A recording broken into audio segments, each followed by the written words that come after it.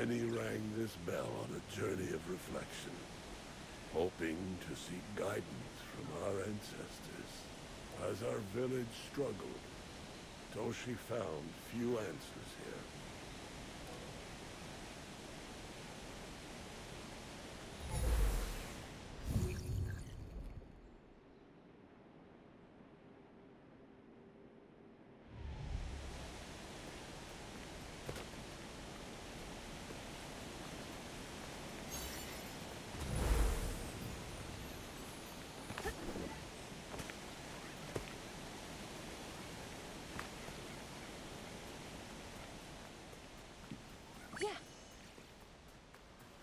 Right